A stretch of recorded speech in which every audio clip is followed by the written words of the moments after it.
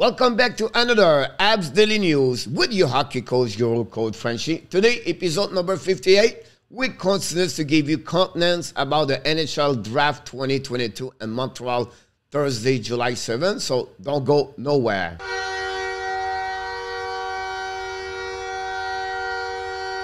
Here we go, guys. Episode 58. We're going to resume the press conference from the Montreal Canadiens manager Kent Hughes with Vincent Lecavalier.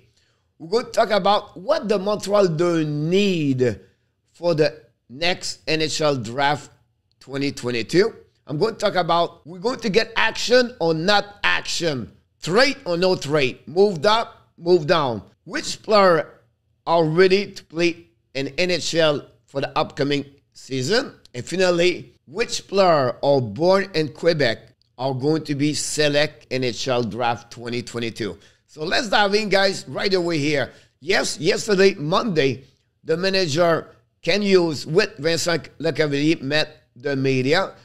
Every year at the NHL draft, manager of each team meet the media the day prior NHL draft. This year, the Montreal Canadiens, with a new management, they decide to meet the media a couple of days prior of NHL. What they talk about yesterday, guys, first of all, they are down at three players for their first selection. It's going to be Wright, Slafkovsky, and Logan Cooley. Supposed to be one of the three is going to be pick number one overall NHL draft 2022. They are going to meet all the scouts. They are in town right now and start Monday night and all day Tuesday all together and hear from them what they're thinking about each players and go deeper about the NHL draft. So prospect. So this going to happening for them for the next 36 to 48 hours. They talk about the process of their selections during the press conference. Who is involved? What kind of meeting they do with the players? And what kind of characteristic or character they're looking for for the players? And who, what are looking for? So when I said what are looking for is what kind of players they're looking for? Is it a guy with speed, physicality, hockey sense, haiku, how he can deal with the pressure to live in Montreal. He play for the Montreal Canadiens. It's they all what they explained during the press conference yesterday. Then they talk about the projection for each pick, who they can become in the next five years. So they said it's not we don't want to pick the best player today at 18 years old, but we try to find a way analytically to find the player what they look like in five years at 24 years old example. So they talk about their process to reach that kind of projection for their picks. Talk about they are willing to move up or move down. They are willing to trade their first pick if it's get better their team with that trade and they're definitely looking for a move up at some point during the NHL draft and then finally, they talk about the role about Vincent Lecavalier. They don't explain, but he talks to us what he does for the Montreal Canadiens, more how he's involved about the NHL draft process. Now, they give some update about the assistant coach. They are still looking for an assistant coach as a defenseman right now. He said a lot of part of this is involved Martin St. Louis, and he keep up some update, and we don't know or we don't have any that that line right now to pick up the assistant coach. Talk about the Jeff Petry scenario. Can he can be traded or not? He said the biggest problem, Petry it's not about the, the players. It's all about the family situation, about the COVID 19, the vaccination, no vaccination. He said, look, there are four kids. The wife need help. They, she asked her mother to join and but because she cannot travel to Montreal because she had no vaccination and she's a bit older, that complicated the situation for Petry family to live in Canada. Talk about an update about Carey Price. He said, look, nothing changed. Same thing. He did not get a second surgery. It's on the waiting now to see if he can play or not. There's something we want to know more, a little bit more in August. So here's my thinking about the, the conference yesterday, guys. I did not learn a lot. When I said this, it's like wow, it was not a, a big announcement from the team for what we know already. So for me, I did not learn a lot from this press conference. I learned a little bit more about the Lecavalier's specific role inside that team. He's really involved on the selection of the picks by talking with different players like Shane Wright.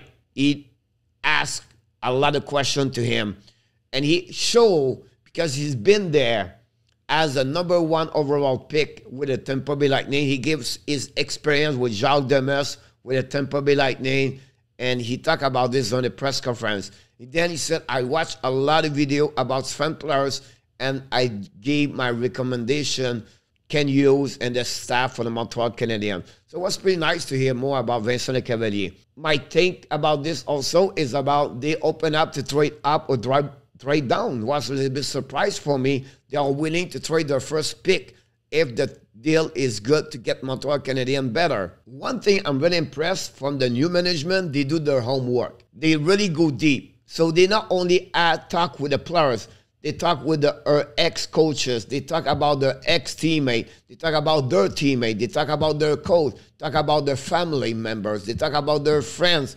They really want to know who they are and this for me, they go deep on their homework. Very important for them, their selection is the character of the players. Can the players accept that kind of pressure and Montreal to become number one overall pick and play for the Montreal Canadiens? Here, what I'm thinking about the Abs need. For what I heard from Martin St. Louis, Kent Hughes, Jeff Gorton, they get hired by the Montreal Canadiens, what I know is what I heard a lot. They need size at front position on, on their roster. They need speed. That's really important for them. They need IQ and hockey sense, creativity, and of course, the mindset of the player, the character of the player is really important for them. Now, the position really they need to get more picks prospect is a right defenseman, center, and forward top nine. We know they have Sean Farrell, Joshua Roy, Raleigh, Ylönen, Mysak, but I don't see deeper great player can great play full time as a top six. So I think for me, a forward, top six, right defenseman, and a goalie are the three positions they should focusing. Now, of course, when they pick, they try to get the best player available. At the first pick they got, I still believe they're going to look in between Shane Wright, Slafkovsky, and Cooley.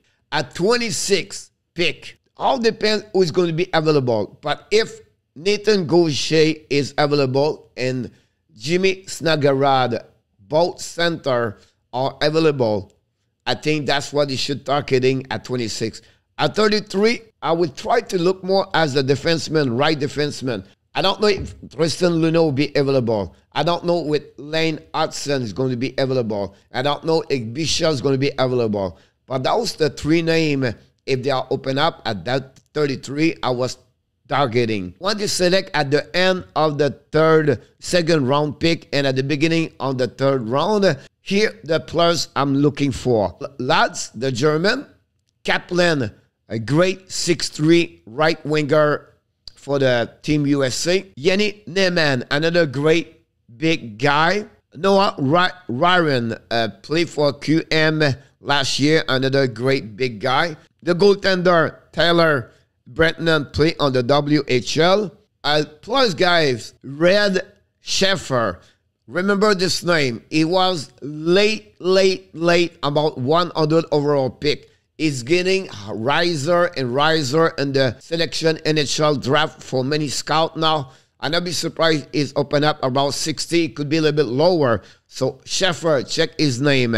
Big Bystedt is a big center for Sweden. That's really interesting. If he would be available, I think he will be out earlier. The defenseman, uh, Lundwitsky, great defenseman. I think could be one of the three selections for Montreal. Maverick Lamoureux for Drummondville defenseman, six seven. Can he be available at 62? I'm not sure. But if he is, uh, I will definitely looking for him if I was a Montreal Canadian. This, of course, can change with time. But I just give you a couple more names. You can learn more about those speak for the Montreal Canadiens. Let's move on to the NHL draft. Action or not action, coach? What we heard for the last couple of weeks, and um, that's what I'm looking for for this draft. The Montreal said that yesterday, but New Jersey, Ottawa, Philadelphia said during the last couple of weeks they are open up to trade their pick first round. New Jersey number second, the Philadelphia number five, Ottawa on number seven. Possible Columbus could be add on this or willing to trade their pick. Can they do this? Here's my problem on this one. Can they move up or move down? Because there are no separation on the top 10, and because they will have to pay an asset or a team have to give an asset to them to go down. I don't see how this going happening. Between guys, Shane Wright to go all the way Marco Kasper or Jiricek or Matthew Savoie. They have not much separation, all of them. So for me, the top 10 are very close. And to move them up from 9 to 5 or 12 to 8 or move I don't see why they will spend an asset to do that because it's really similar, those players, in my eyes. And the same way later in the draft. At least someone slipped. Otherwise, I don't see why a team going to jump from 26 to 22 because they are all similar the players. So for me, I don't see that. My thinking is about this guy. I don't see that much action on the top 10 from the team are select at that moment. So it'll be interesting to follow, guys, for sure, the NHL draft. Here, my top five players are ready to play NHL. Of course, they maybe not all play, but they are on those prospects right now. My top five, they can play in NHL for upcoming year. Is Slafkovsky, right, Nemec, defenseman, Marco Kasper guy, I love this kid now more and more. And definitely David Jiricek, all my five. Then let's move on for the French players. When I've said this, of course, you know I'm French. They are born in Quebec, and they are my top five players. Nathan Gaucher, Tristan Luneau, David Goyette are three players I believe they can be picked top 32. A little bit difficult for Goyette. Luneau will be borderline. Gauthier, I believe, is going to be out 23rd to 27. Now, Maverick Lamoureux, defenseman, a big six seven play for Drummondville. Can he get out early second round? That's something we're looking for. Same situation with Noah Warren, where is late second round pick or the beginning of the third round. Another great defenseman, 6'3. Finally, for this show today, guys, the NHL news today, the San Jose Sharks are going to announce this afternoon Mike Grier is going to become the general manager for them, is become also the first black man to be managed in NHL. Remember, he played for the San Jose Sharks from 2006 to 2009. Here we go, guys. Episode 58 is going to be like this for the next couple of days because the NHL draft's coming July 7, 2022. Until then, remember, don't forget to click on the like, subscribe to the show, sharing this video, and below this video, tell me what you think about the episode number 58 with the hockey coach guru, Coach Frenchy. Until the next time, my friend, remember, you have greatness inside of you. Have an amazing, blessing day, everybody.